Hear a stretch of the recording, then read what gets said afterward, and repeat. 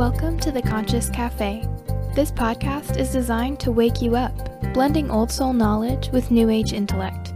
I'm Izzy, your host, and I hope you enjoyed this week's blend. It's time to wake up. Are you ready?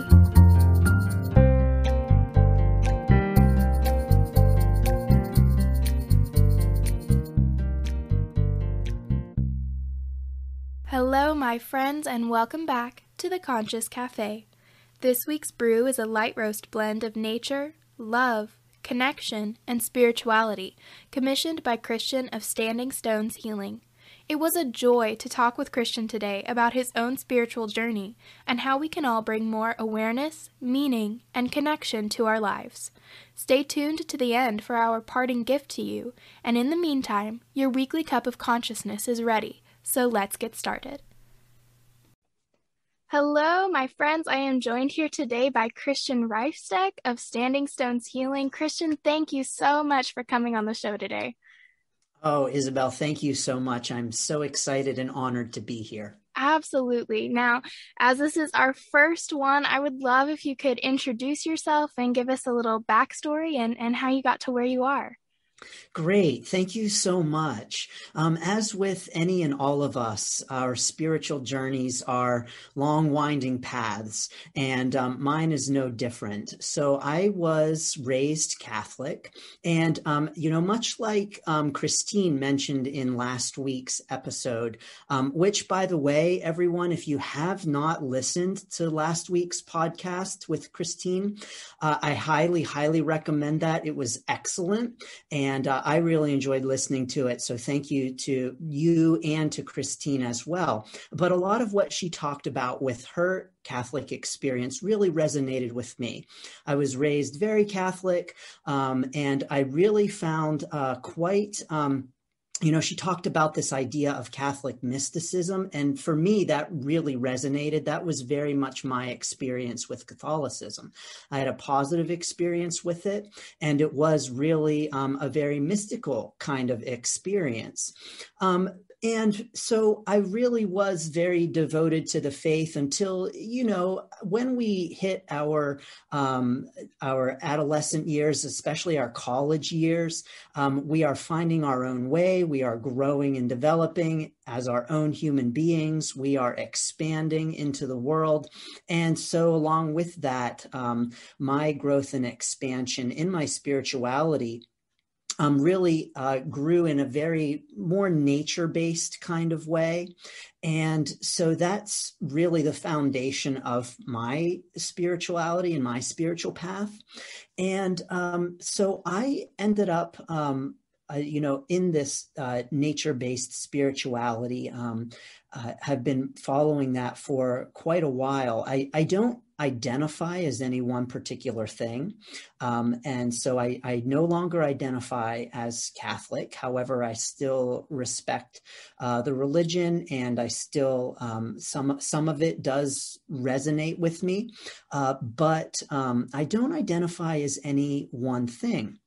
Now, through my spiritual journey, um, I have become a Reiki master, and and uh, I was attuned in 20,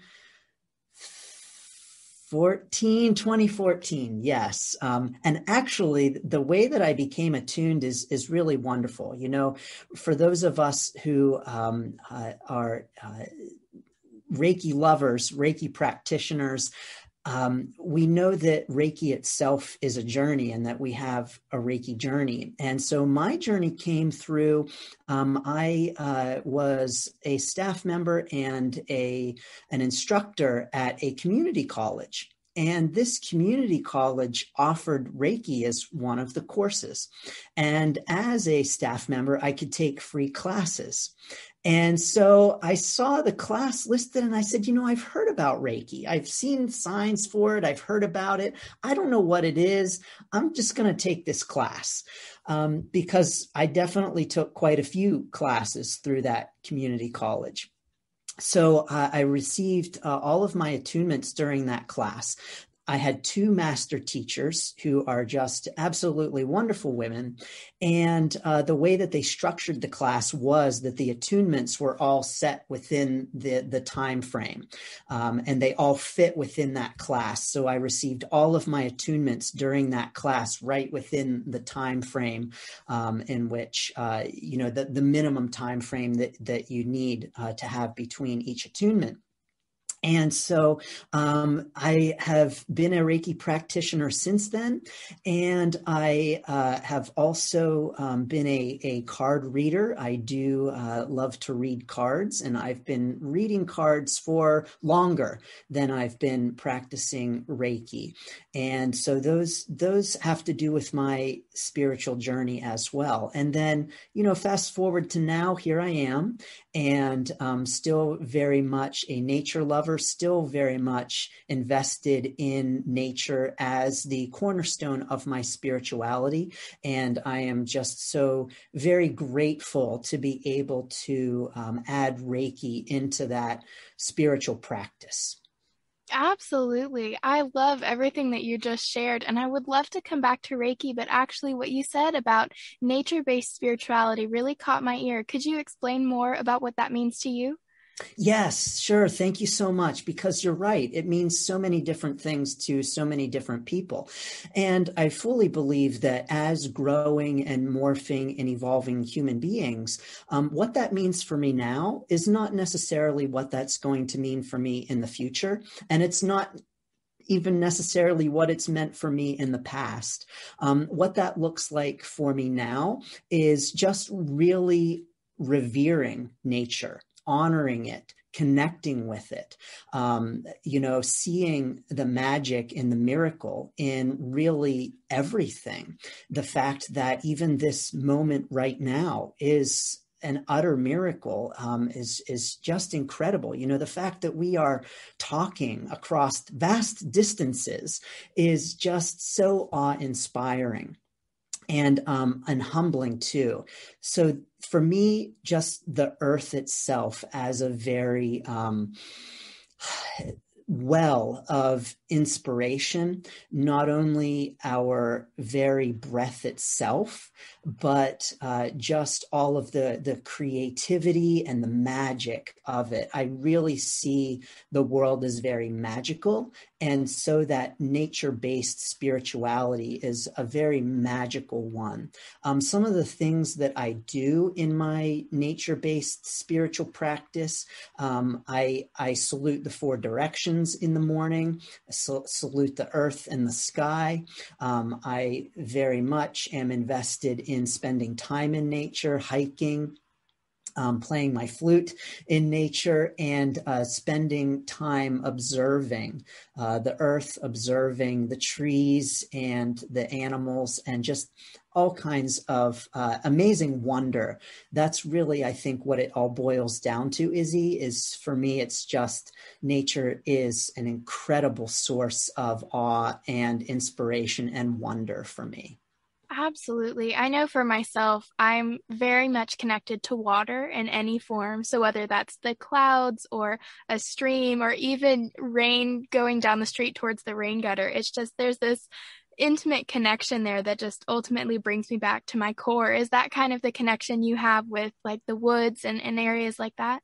Oh, for sure. Absolutely. And you know what is so amazing about water is it's just such an element of flow. You know this idea that that water is always going to find the the lowest point and flow to that.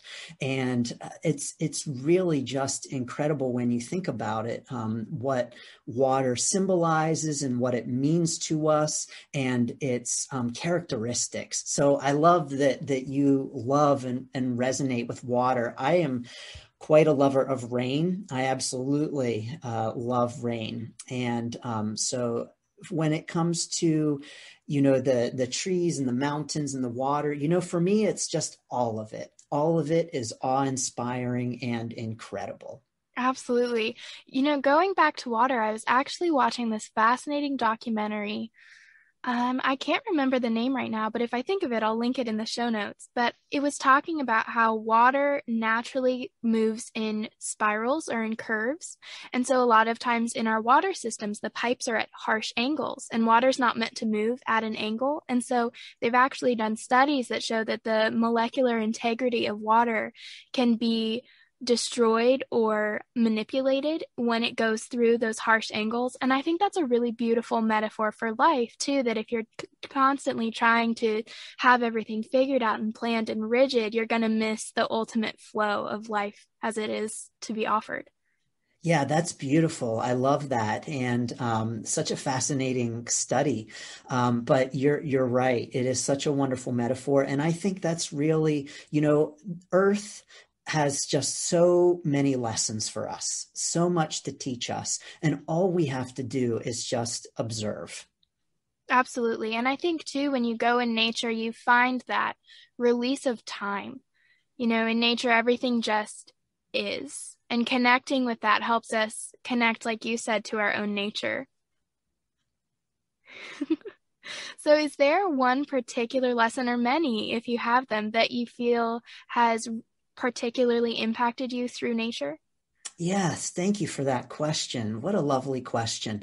Um, you know, I, there are so many, but I will say that um, I have received messages um, from nature itself. And one of them was this idea of a cosmic revelation, and that this world is just a vast unfolding. And so this is the way that I really like to think about not just the universe and its unfoldment, but our lives as well. And it, it really just always brings me back to this image of a flower that is opening. And we can't you know, we can't force a flower to open. It's not like we can just grab it and start tearing apart the petals and pulling it open.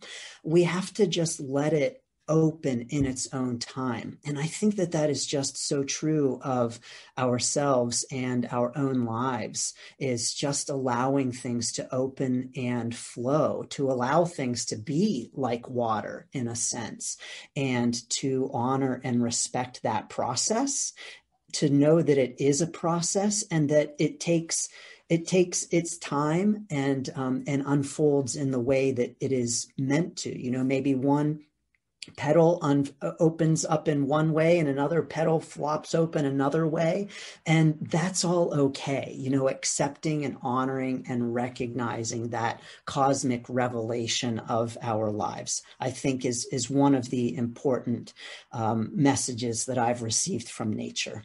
Beautiful. I love that idea of a cosmic revelation. That's a really beautiful phrase for it too.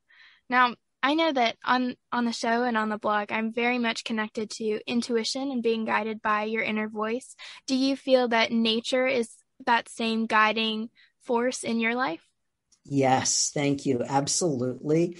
Um, I think that when we are still and um, and listen, that the messages, the um, inspiration is all around us.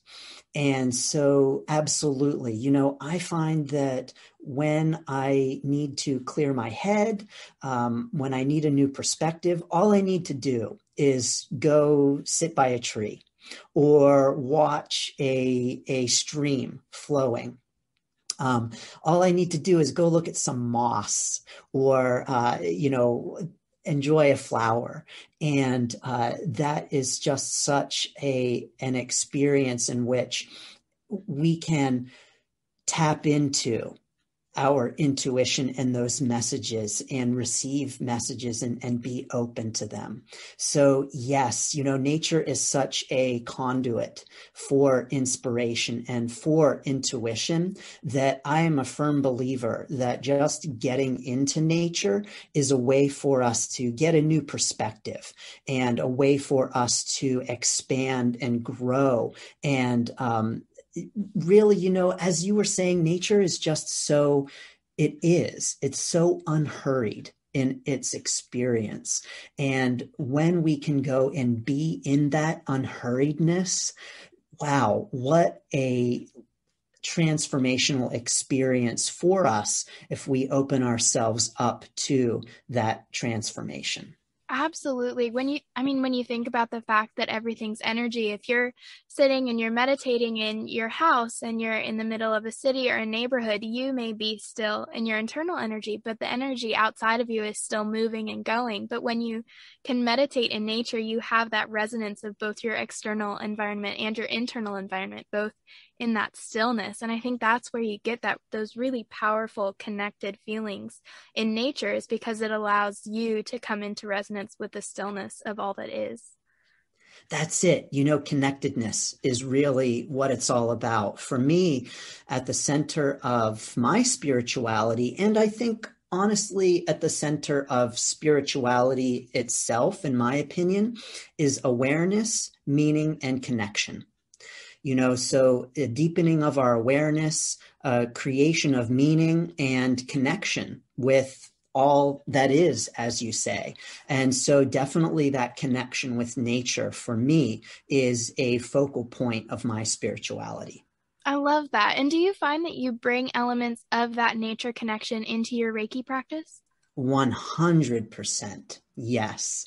Yes. So the way that I view my Reiki practice, you know, of course, Reiki um, is it, it, it is you know that's really all that the, the the way to sum it up reiki is and that what that means is that there are as many ways to practice reiki as there are people and so for me you know i think that reiki is is like ice cream in a sense and that the way we practice it is just all the flavors. So I, I love that. I actually yeah. say that everyone has their own flavor of energy. That's so Oh yeah.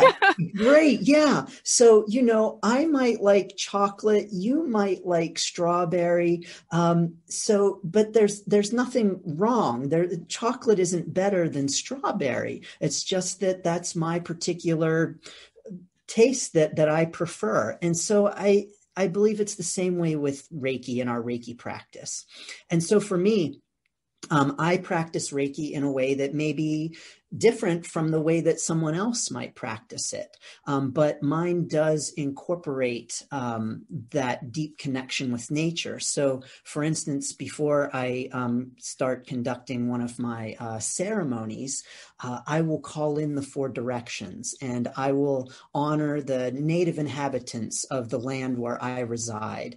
And I will call on Father Earth, um, Father Sky, and Mother Earth. And so, yes, I definitely incorporate um, those aspects into my Reiki practice.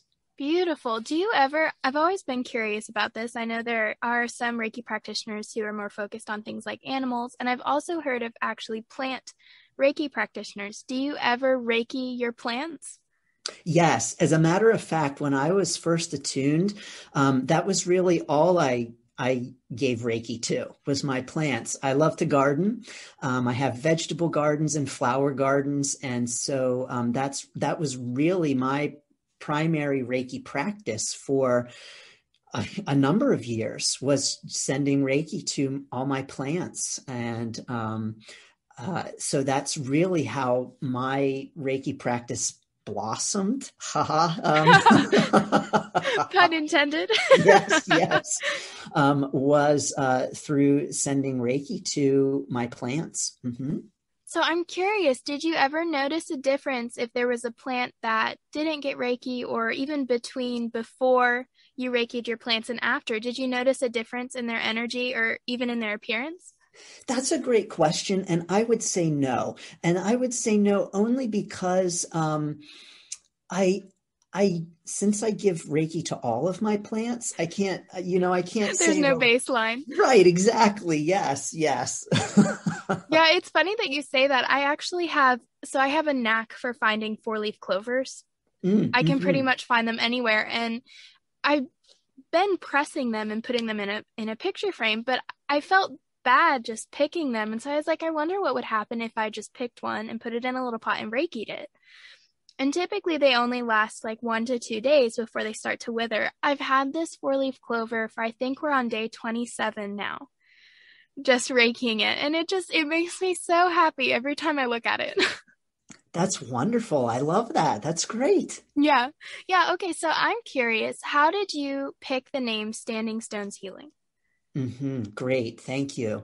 So, um, as far as my spirituality, I, I also am very invested in um, a Celtic type of spirituality. Um, the scenery, the landscape of places like Ireland, um, the standing stone structures. And um, one of the things, believe it or not, that I really love is ruins. I love ancient ruins. You know, they're this um, kind of uh, uh, piece from the past that is still standing and still exists. And I think that they are a real testament to weathering the challenges and changes of life. And so for me, you know, here are these ancient structures. And yeah, you know, maybe some of the stones have fallen over. Um, but the fact that that they are still standing. I mean, like Stonehenge, for instance, the fact that it still exists is pretty miraculous. Um, of course, it, it's had some reconstruction done to it, um, but even so, you know, the fact that that it's there, the fact that it was resurrect, that it was erected so long ago, and that these stone structures um, have been erected so long ago, and you know, we don't know exactly what their purpose was when they were erected. Um, but for me, they are really uh, very spiritual in that they represent to me um, a connection with the past. They represent to me a connection with nature. And they represent to me the ability to really stand strong um, with the changes of time and, you know, even with that cosmic revelation. And then also the acknowledgement that eventually those stones will collapse and eventually those stones will be subsumed back into the earth. And that is all a part of the cosmic revelation as well. Absolutely. There's that continuous cycle of living and breathing and then letting go and releasing and moving into that next stage. Yes. Yeah. So I would love to hear a little more about you've mentioned a few times finding metaphors in nature for your spirituality. Is there one in particular that really motivates you on a daily basis? Oh, that's a great question. Um, you know, for me, at the center of what I strive for is love. You know, um, I I really believe that that's why we're here, that um, our main purpose is to love. And let's be real, that's that's a challenge. You know, as human beings, to strive for that in all moments is a real challenge. Um, but for me, uh, that is something that I am always working towards, striving towards to be more loving and in an increasing number of moments. And so, you know, for me, um, one of the the intuitive messages that I received from nature was this idea of what what do we love or what is even alive and what is in a sense deserving of our love and um, you know deserving of existing in a sense. And i received the message that um, uh, you know that that um, everything that uh, you know what is alive and the message was everything with a shadow. And i said that's everything and the response i got was exactly wow. and yeah so you know really for me striving to just love everything um, more and more and to uh, really align myself with that idea of love and unconditional love. I'm going to say it again. It's not easy. You know, we are human beings. Um, it is a, a, challenge, you know, when someone cuts you off in traffic to say, I send you love. I send you love. so it's a work in progress for sure.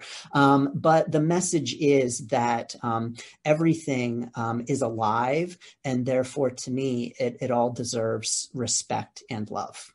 Oh, I love that. I love that. I think I think it's so funny that the the typical example is someone cutting you off at a traffic light. I use that one myself. I've heard so many other people. I think it's so funny that that's like the go-to. But do you find that I know that I speak to the difference between what I call mental love and unconditional love that I find that sometimes we have this idea of loving someone the way that we would in a partnership or the way that we love our family. And then I find that it's almost like we were talking about earlier different flavors of energy. There's almost a different flavor of energy when it's on that soul level of recognition that everything that is alive deserves your love and respect. Do you find that there's a subtle difference there as well? That's a great question. You know, I think that when it comes to love, we have many ways of looking at love and many uh, things that even we will call love that aren't necessarily love. You know, like for instance, maybe we stay in an unhealthy relationship out of quote love, um, but love for whom? And um, so I think that that oftentimes we as human beings um, serve you know we we kind of um, maybe have multiple ideas of love and we are looking at love in our human kind of way. So we're looking at love through our human glasses because that's all that we ever have is we we don't have the ability to look at things as not being a human because we are always already human and we can't pull ourselves out. We, you know, we can attempt and we can say, okay, I'm going to try to look at this as a non-human, and we can attempt that.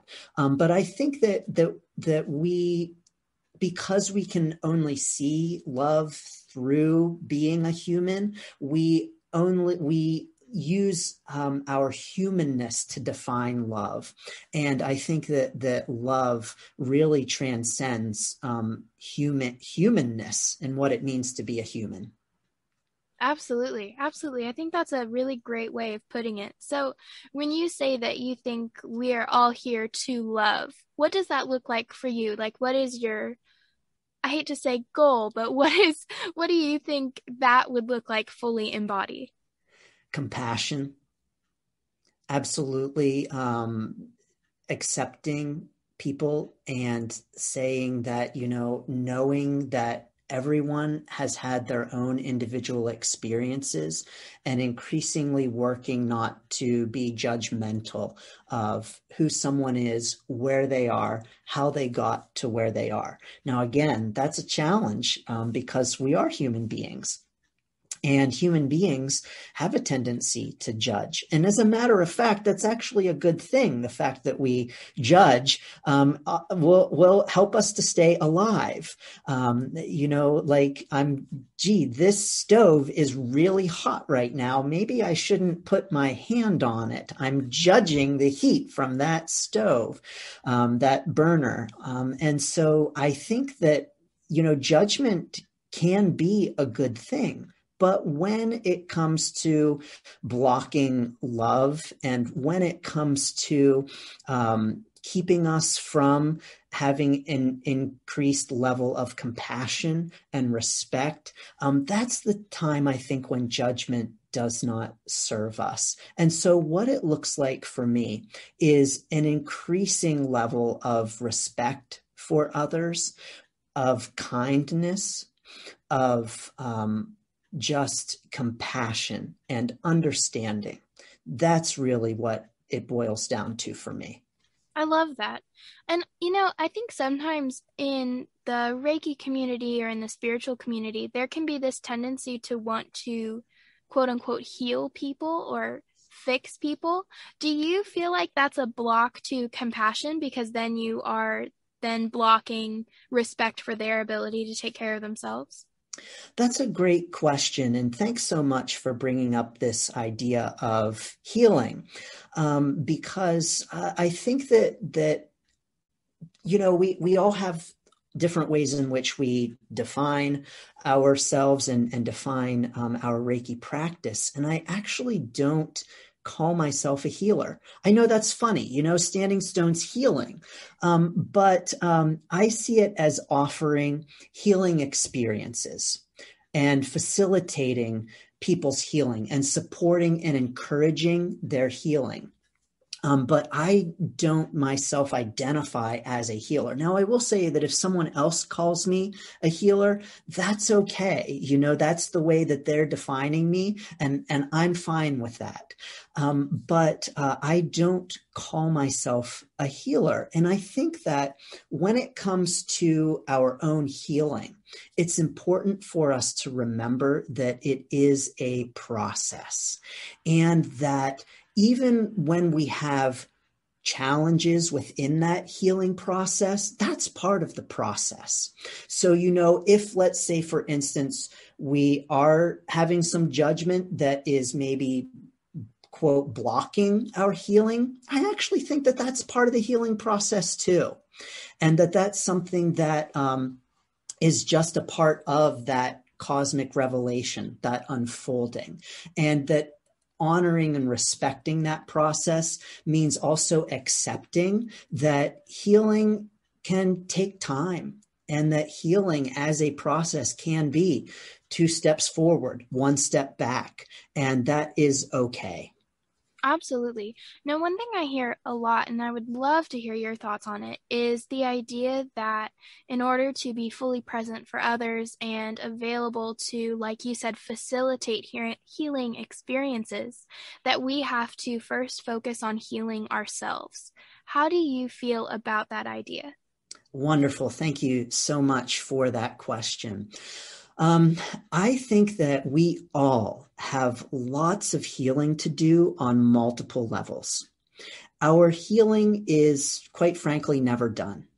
And that's because as human beings, um, you know, we, we all are having experiences to heal from. And so it's not like we can get to a point where it's like, all right, my healing is all done. I'm good to go. No more need for any more healing. Well, guess what? Um, you're living a thing called life, and you're going to need to have some healing, and it is an ongoing process.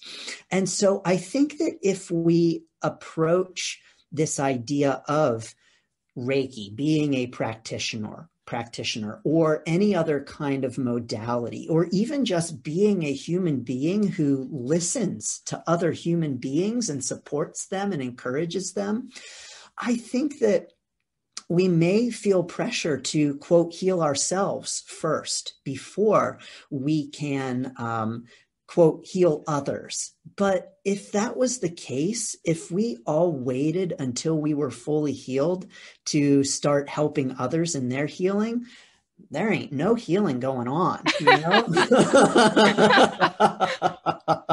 because we all have our own work to do on multiple levels. And we can even have experiences where, you know, we feel that we've healed from something and moved on. And then we have an experience that says, oops, nope, I still have some layers with this to unpack. There's still some um, revelation, some unfolding to happen with this experience. And so I don't think the healing is ever done. And I don't say that to mean that um, that's a, a, a negative viewpoint or a pessimistic viewpoint. Actually, I think it's kind of optimistic to be able to say, yeah, you know, it's part of the process. We all heal in our own ways during in our own time. And um, that is all okay. And the healing journey is a journey and that journey is never done Absolutely. Well, and I think too, sometimes we can find that in helping others, we can also heal ourselves. And I think, you know, when we go back to that idea that everything is energy, there's that resonance too when you find someone who's also on the same path or even on a complementary path where you find someone who's healed in the area that you are trying to heal. I know that that for me, a lot of my limiting beliefs, sometimes I like to look at other people and say they don't have this limiting belief. So it's possible to let that one go. Yeah, I think that's really great, and um, I think that that we all have our own individual challenges, and um, I think that really compassion for me is the key to say, you know, a lot of times we'll think, well, you know, this is a, a piece of cake for me. I can do this. Why why aren't why isn't everybody able to do this um, or why are others challenged to do x that i'm have no problem with. But the truth is that we all have our own individual challenges and experiences. We all have our own individual gifts and perspectives. And so I think just an increasing level of honor for that and even reverence too for all of those experiences that you yourself have had and that others have had in their own journey. Mm.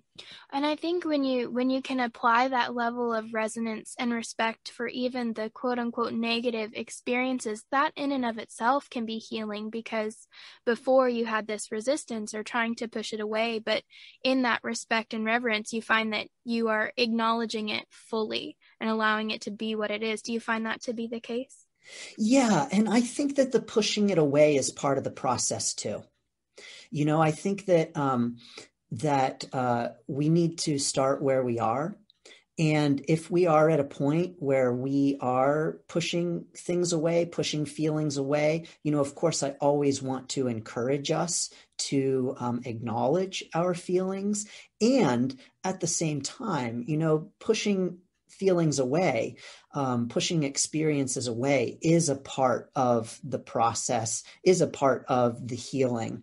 And um, so I think just honoring that, acknowledging that, and knowing that that is part of the process and that it, it will you know unfold as it as it should I think that's a fascinating way to look at it because I think I think a lot of times in the spiritual community you hear people talk about how you shouldn't push it away and and how that's something that you just need to move on from and let go but I love the idea that it's actually part of the healing process. Do you found that do you find that accepting that resistance has helped you on your journey instead of resisting it more? yeah, that's really great. Thanks for that question, Izzy. Um, I had an experience a number of years ago um, in which I um, I had a, a, really challenging time. Um, I had been in an abusive relationship and um, was really challenged to leave that relationship.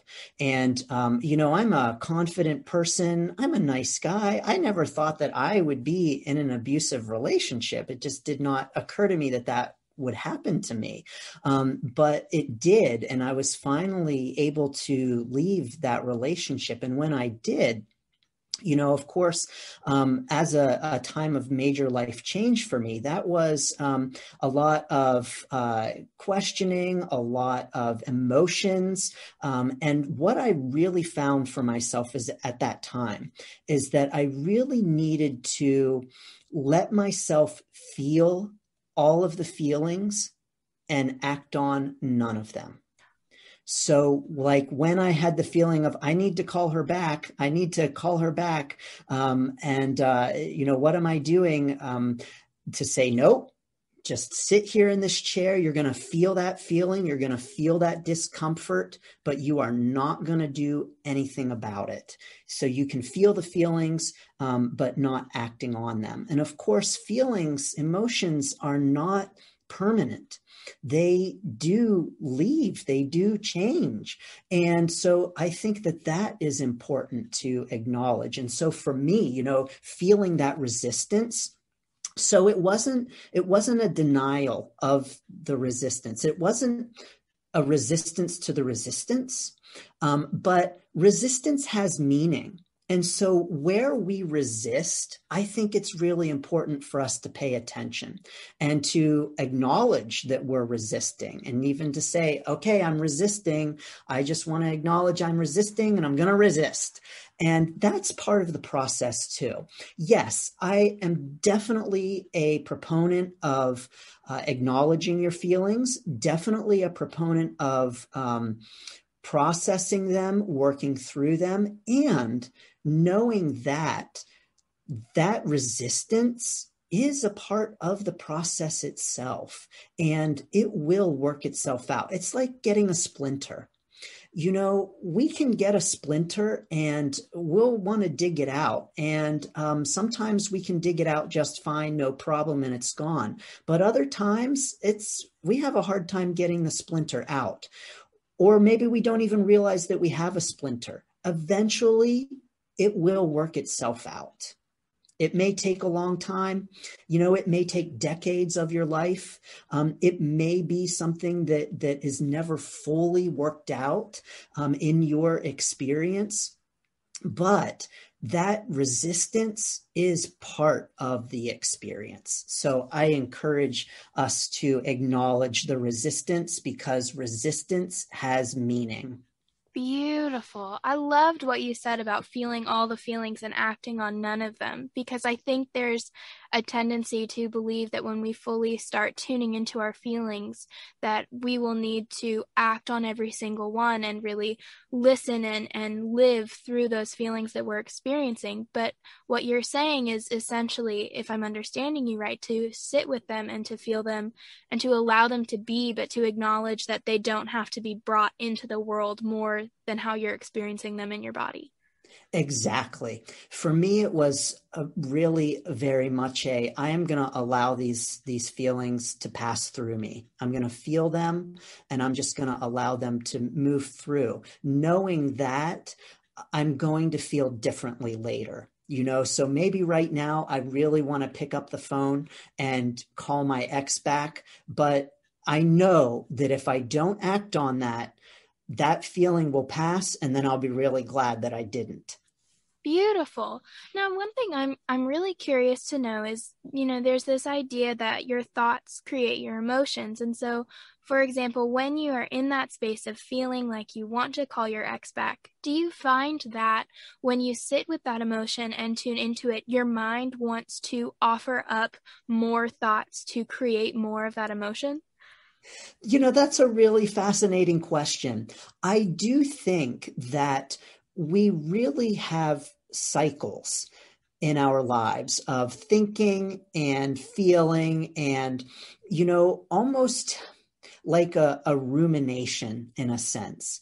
Um, Nietzsche um, referred to, you know, this idea of of ruminating our thoughts. He really used the image of the cow chewing on the grass, and I think that we so often get into that kind of mindset where um, we'll fixate on a challenge, fixate on a problem, fixate on an emotion, and we almost get ourselves, we work ourselves into that place, and then um, it can be really difficult for us to work ourselves out of it. And it's like, you know, it, it feeds off of itself.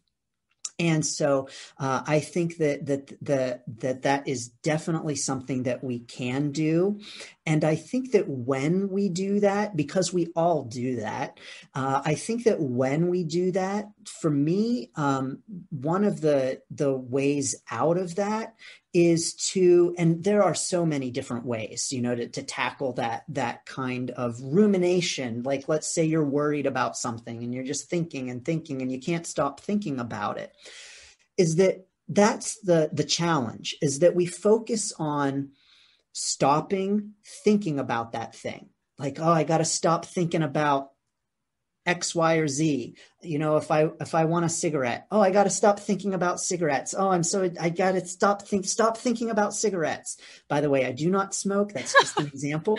Um, but I got to stop thinking about cigarettes. Well, guess what? You're thinking about cigarettes when you are saying I've got to stop thinking about cigarettes. And so I really think that that a way out of that cyclical rumination kind of thinking is to rather than focus on what you don't want to think about, focus on what else to think about. So rather than um, saying, okay, I need to stop thinking about this, it's turning that on to what you want to be focusing on instead. Beautiful. I love that. And you know, I think when we get stuck in that cycle of rumination, using the cigarette example, you get stuck in thinking alternately about the future and then the past. So you start thinking, oh, I would love to have another cigarette. And then you're beating yourself up for having that thought. So you're constantly on this seesaw back and forth of future to past, future to past. And I think for me, trying, of course, like you said with love, this is so hard in the human experience, but trying to find that present moment in the middle of the seesaw where it's balanced. And you know, one of my favorite ways, I'd love to hear one of yours, but one of my favorite ways is to when I notice that I'm in that cycle of back and forth, back and forth, is to look around the room and find something from every color of the rainbow, or to try and this one's really fun feel the clothes that I'm wearing, not just look at them, but feel them as they're sitting on my body. So it's it's like you were saying of picking something else to think about and also bringing you back into that present moment so you're not seesawing back and forth. Yeah, absolutely. I like that a lot. That's that's the awareness in the awareness meaning and connection that I really feel is at the center um, of my spirituality, certainly, and I feel in a general sense, spirituality. Um, but for me, the the way that I bring myself back to that moment and pull myself out of that is gratitude number mm. one that is like my number one recommendation for bringing yourself back to the moment for um, uh, creating awareness for really bringing us into the present moment and shifting our energy increasing our vibration. So it's gratitude. So if i feel myself like getting upset getting angry worrying i will stop. I will say stop 10 things. And then I will start listing off 10 things on each of my fingers that I'm grateful for right in that moment. And by the time I hit my 10th finger, I'm blessed to have 10 fingers.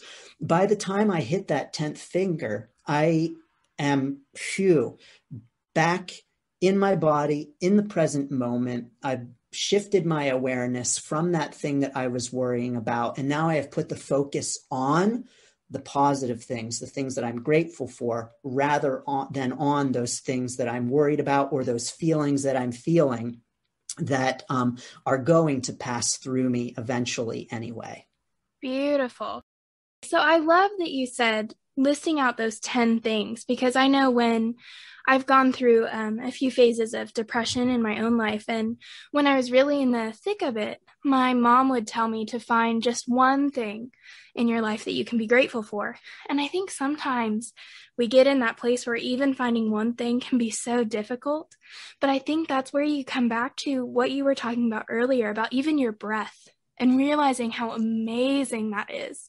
Just that one breath that you can take in this moment and the fact that you can do that. I'm actually in a physiology class right now and we're learning about the mechanics of breathing. And after that chapter, I just have a newfound respect for the human body and what it can do without us even trying. Uh, yes, it is incredible, isn't it? And I'm so glad to hear you talk about the breath because that for me is, you know, when it's it, you get to the point where you're just like, oh my gosh, I don't, I, I, how how can I even find one thing to be thankful for? Well, there it is, right there. I think it's such a true miracle that the number one thing that we need in order to survive is all around us all of the time. And all we need to do is to take it in. And so, if nothing else, we have that. So I love uh, that that you mentioned the breath. I'm a true believer in the power of the breath. Beautiful. Yes. Well, and I think too, like you were saying, the fact that the one thing we need to survive is around us at all times.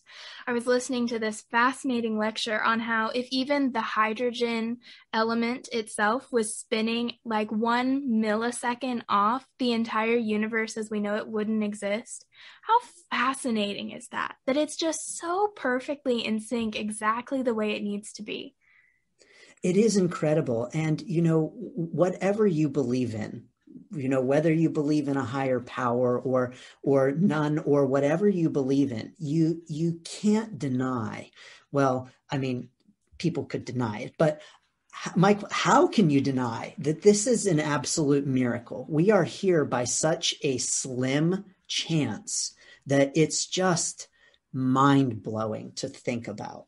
It is. And, you know, do you find that, because I know you mentioned gratitude and coming back to your breath, do you find that coming to that meditation almost on the miracle of life is another way that you come back into the present moment? Oh, yeah, for sure. For me, it's something as simple as looking at the stars mm. and just saying, wow, you know, that is incredible, you know, to know that look at all of those stars out there and all of those worlds spinning. And yes, so something as simple as that, I think, is a great way to just recognize the power that is around us in every single moment. And not only all around us, but inside of us as well. You know, you mentioned the incredible power of the human body that does all of its human body things without us even thinking about it. I mean, it's just an absolute miracle. And I, you know, for me, sometimes it's uh, just a little, just bull, bulls you over you know? It's it's almost too much to contain i think if we really sit down and think about it. Absolutely. Well i think you you almost get on this edge of a a blissful existential crisis when you start thinking about it. You know what i mean? It's like you just realize that not only are you just a speck in the universe but you are also the universe. And it's this mind-blowing moment of just the beauty that can be in life and that is in life, even if you don't recognize it in the moment. Yes. And that's really why I think that all things deserve respect. And that's really, I think, all about the message that I received from the tree um, that said that everything with a shadow is alive. Mm-hmm. And isn't it true? You know, I mean, we we we take so much for granted. And the truth is that everything around us is just teeming with that incredible energy that that big bang that occurred that brought us all here to where we are in these moments. And it's just awe inspiring. It really is. And you know, I think some people listening to this might be thinking, you know, how can my desk be alive or things like that? And you know, what I would say to that is there's this idea this is always I've always found this really funny as I've traveled on my own Reiki journey when you have people who will contest the idea that everything's made of energy. And and I always think if you look at chemistry, everybody's taken a chemistry course and in chemistry you learn that everything is made up of atoms. And what are atoms made of? They're made of protons and electrons which are energy. And so not only has chemistry proven this, but also it's shown that everything, no matter what it is, is made up of the same energy, just in different formations. And so, of course, everything with a shadow is alive because we are all from that same energy, from that same source. Exactly. Yes. You know, that, that big bang was, you know, just condensed into such a fine point and then kaboom here's everything from that single point it's amazing. Now, you've mentioned the awareness, meaning, and connection as your kind of three tenets for your spirituality. And we've covered awareness and we've covered connection. But could you speak to what meaning means for you? Yes, thank you so much. What a great question. Um, to me, it's about creating meaning, finding meaning in our experiences, and recognizing the meaning in uh, our human experiences, the things that that happen to us. You know, we we create meaning. Um, I think that oftentimes we have a tendency to think that um, meaning is something that is assigned to our experiences by someone else or some other something. You know, that something outside of ourselves gives things meaning.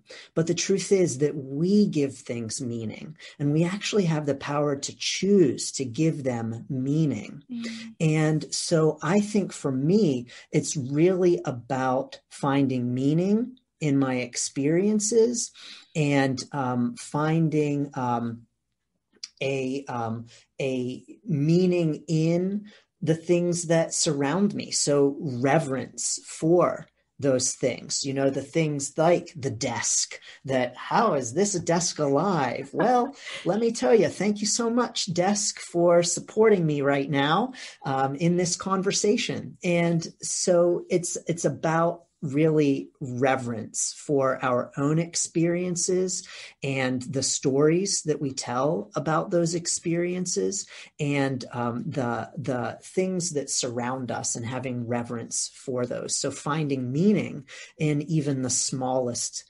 things I love that. I love that. And so now when you when you talk about how we choose our own meaning for situations, could that apply to our example of someone cutting you off in traffic?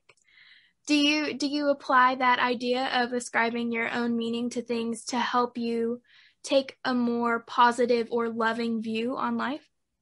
Yeah, to say, okay, person who cut me off in traffic, thank you for the reminder to continue to strive to be loving in in all moments, or at least in as many moments as I can, mm-hmm. and in an increasing number of moments.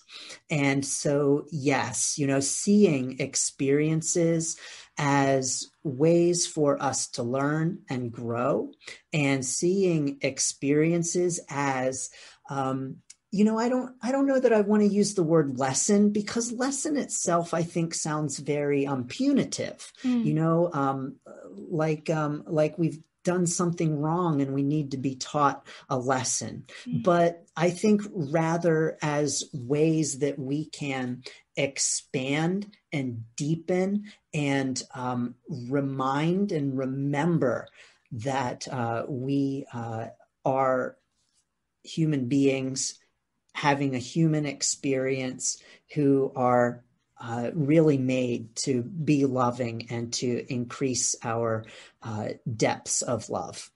Beautiful, beautiful. So, when you use meaning as one of your spiritual principles, do you find that the meaning of, as you said, even the small things add up to create a bigger meaning, or are they all are they all separate for you in, in your experience?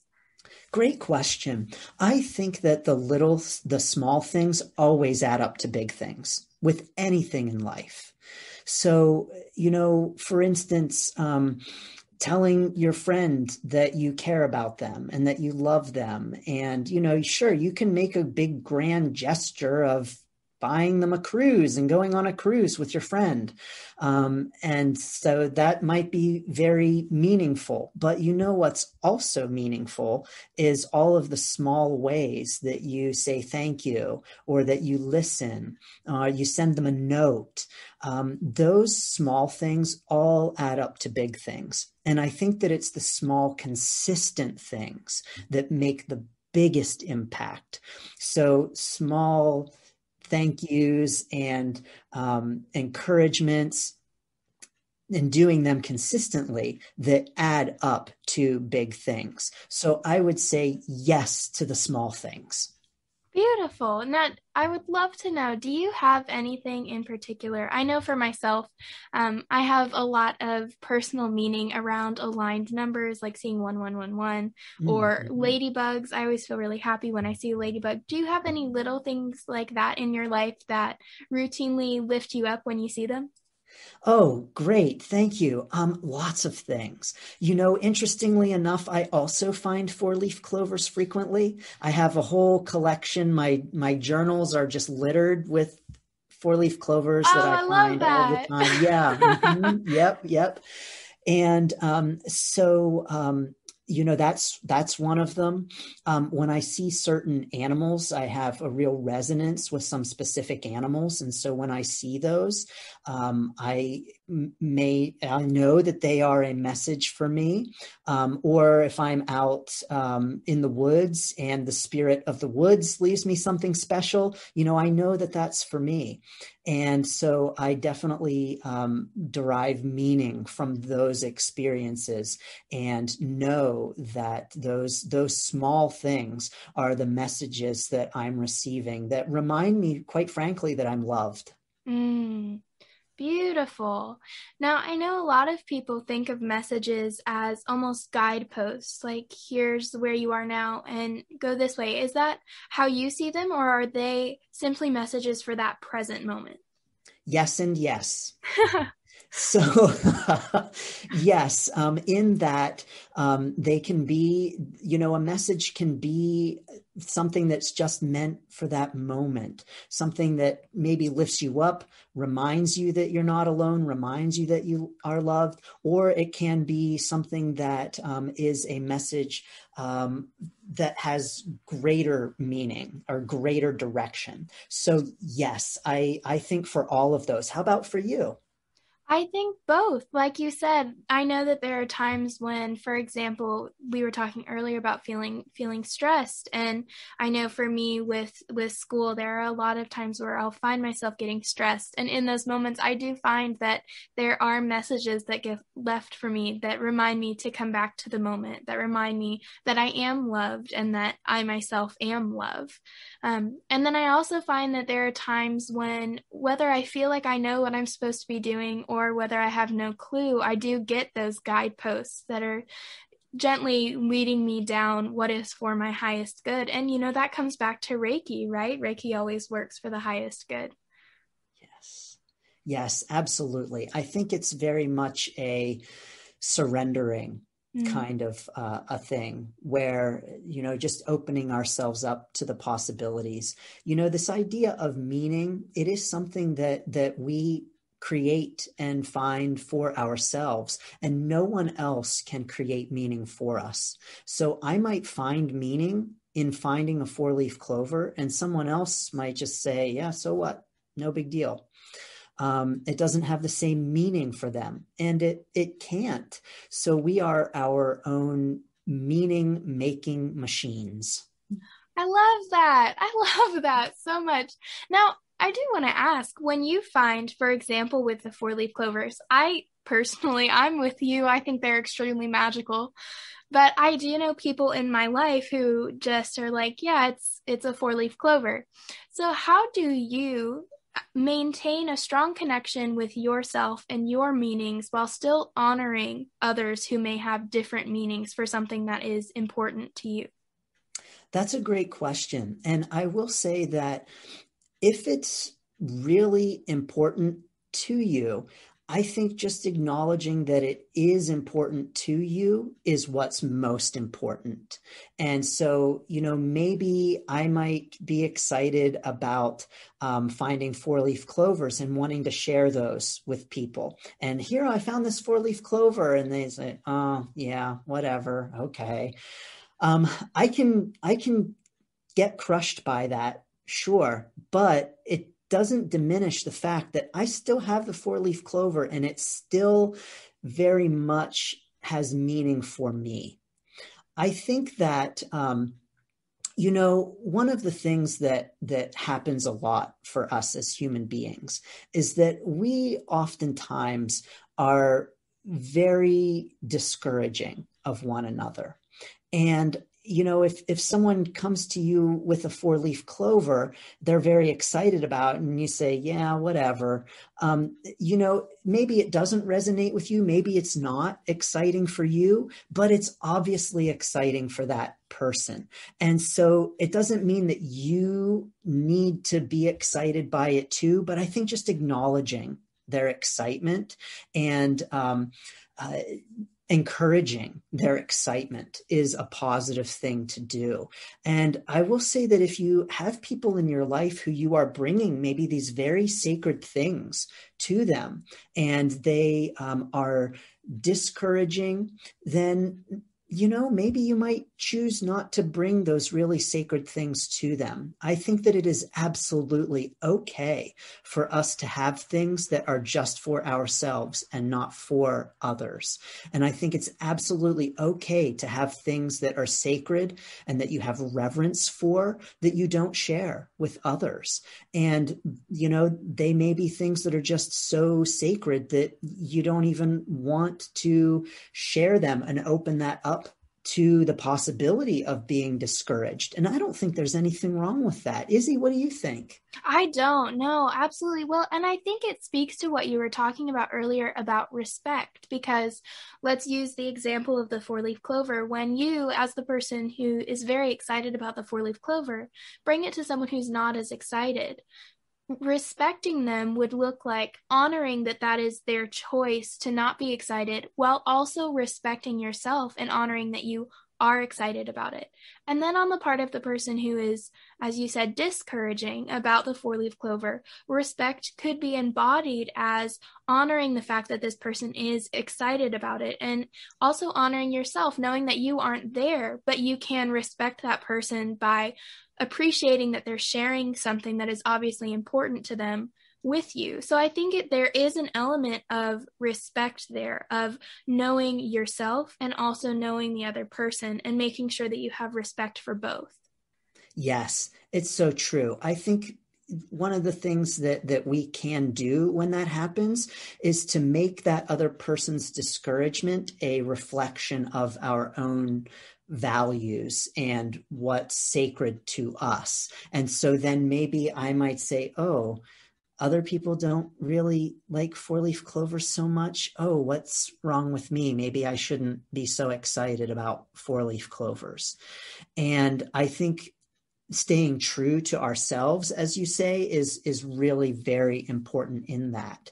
You know maybe um maybe others uh, aren't aren't too um, enthused about on my altar i have all kinds of nature things feathers and stones. And someone would look at it and say what's that pile of crap and you know so um, i don't be i don't need to share my most sacred objects with everyone. Um, and that's okay. And i think even when we do share the sacred parts of ourselves with others and um, we may be discouraged to be able to say to ourselves you know this maybe isn't something that this other person is enthusiastic about or finds meaning in but i do and there is nothing wrong with that. And I think too, sometimes wherever you are on your spiritual journey, there may come a point where I know for myself, I went through a period where that almost felt selfish, feeling that either that I should keep something to myself or that I should hold firm in my own beliefs even if someone else doesn't agree with me. And I think that's a huge moment of evolution when you start to step into the fact that it is okay. Did you go through a similar phase in your journey?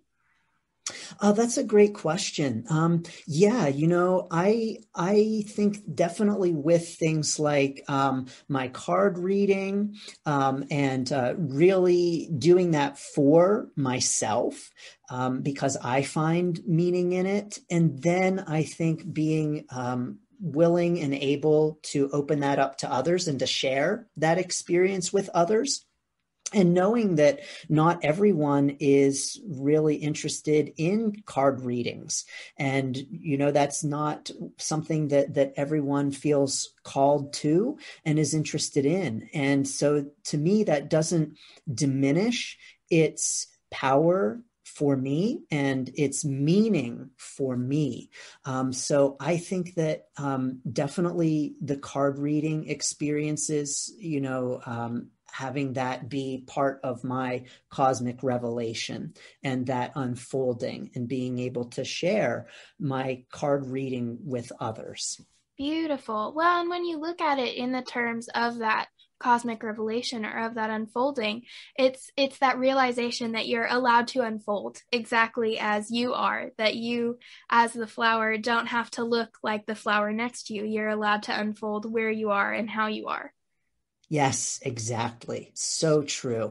I really think that spirituality is so individual that we all have our own things that we find sacred. We all have our own ways of identifying spiritually, even with people who maybe share the same religion. You know, we all have a different experience of it um, because we are all each unique individuals. And so I think just honoring that, honoring that difference um, is a positive. Beautiful. Yeah, absolutely. Well, and I think too, in that honoring, it comes back to that aspect of love and connection and meaning and tying that all together in knowing that your experience is your experience in the moment. And like you said earlier, it's never going to be the same and you're never going to be able to go back. So finding a way to find that gratitude and yes. breathing into the moment and just tying all of that together. Yes. And, you know, because everything is a journey it may be different in your future. You know, the four leaf clo- clovers may no longer resonate with you, and something else might in your experience.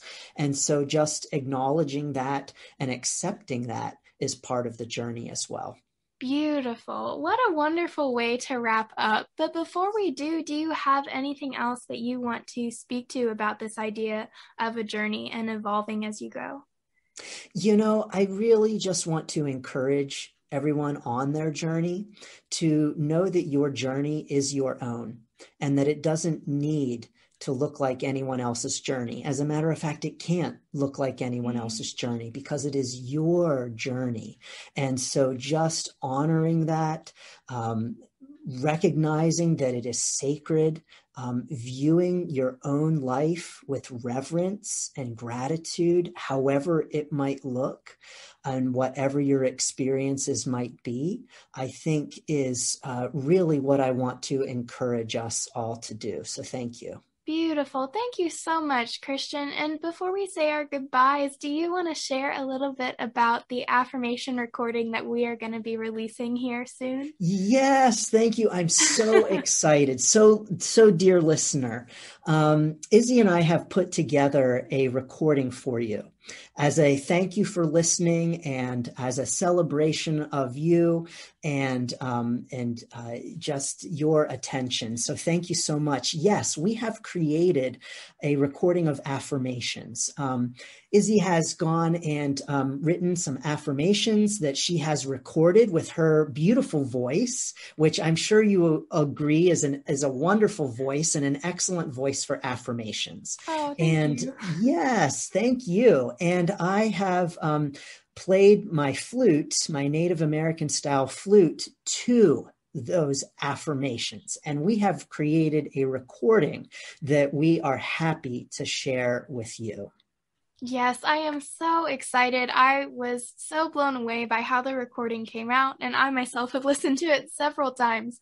So I am so excited to be able to share it with all of you. But that should come out on Sunday. And until then, Christian, thank you so, so much for coming on the show today. It has been an absolute joy talking to you. Oh, thank you. It's always so wonderful to connect with you. I just want to say thank you for all that you are doing.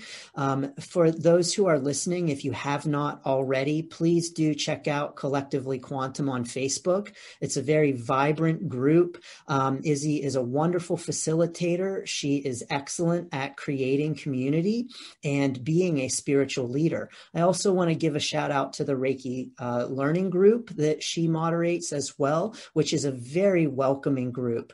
Um, so, for um, anyone who is a Reiki practitioner or Reiki curious, Reiki interested, um, a fan of Reiki, wherever you might fall on that spectrum, I encourage you to come check that out because it is a very welcoming and supportive group um, with um, more than a thousand members at this point. So, it's really astonishing um, what Izzy has done and all of her dedication. So, I just want to say thank you to you for your commitment and devotion. Thank you so much. I really appreciate that. And yeah, I will leave all of the links for both my groups and my website and Christian's YouTube and his website down in the show notes so you guys can find all of those there. And when the affirmation recording does release, I'll be sure to add that to the show notes as well. Christian, thank you so, so much. Oh, thank you. My honor and pleasure, and best wishes for your journey. Christian, thank you so much for coming on the show today. It was an absolute joy to talk with you. You can find Christian and Standing Stones Healing on YouTube, Facebook, and his website at Standing Stones Healing, or find all the links in the show notes. Stay tuned until Sunday when I'll release our affirmations recording. I am so excited to bring this project to you all, and I hope you find as much joy listening to it as I did in recording it. Thank you guys so much for listening, and I'll see you next week at the Conscious Cafe.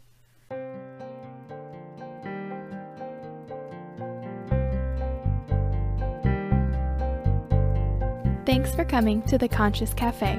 Come back next week for your consciousness refill, or keep the vibes going by subscribing to the podcast, following the blog, or joining me on Instagram at Collectively Quantum. Find all the links in the show notes, or head over to collectivelyquantum.com. Until next week, it's always a beautiful day at the Conscious Cafe.